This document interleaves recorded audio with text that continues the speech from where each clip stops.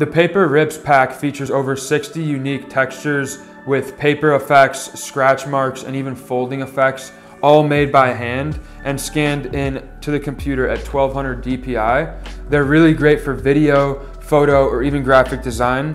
Um, one of my favorite uses for them is just adding them at a super fast pace into video, and it gives that, that really scrapbook kind of feel to your video footage. You can also keyframe them into your into the individual um, paper rips and use different videos on each rip in your your final project. However you want to do it, there's tons of way to use them. To, so today I'm going to show you how to use them a little bit in Premiere Pro and in Photoshop. So let's just go ahead and get into it. Alright, so to get started, you're going to want to open up Premiere Pro, and I usually like to start by just bringing in all of the paper rips, and what I'll do is just pick one individual one that I really like. If I'm going to be using a ton at once, then I'll kind of just reset their time duration, but for this one, I want to start with kind of like an intro sequence where one paper or one video comes in at the bottom left, one comes in at the bottom right after it, and then one at the top right after that, and then at the top left after that. Kind of like a little, um, just animated paper collage. And we're going to do this by just getting all of our clips prepared, and then you're going to need to mask out both the paper turn, the paper rip, and also the, the video itself. As you can see, basically what I'm doing is just resizing each video to fit in the frame of each corner um, that it's going to be in. After that, I usually like to mask out the paper rip. Um, I don't do it too precise on the first go around. Usually I will kind of just get the edge there and then after the edge is actually there, I'll just readjust the points to make it more um, perfect after that. And for the video footage underneath the paper rip, you don't have to actually get it too, too perfect. Um, just make sure it's behind the white line where you're masking out. And obviously, once you do it, play the footage back a little bit, see if it looks wonky. For this one, I had to like stretch the, the paper rip a little extra to make it look like it was all actually together.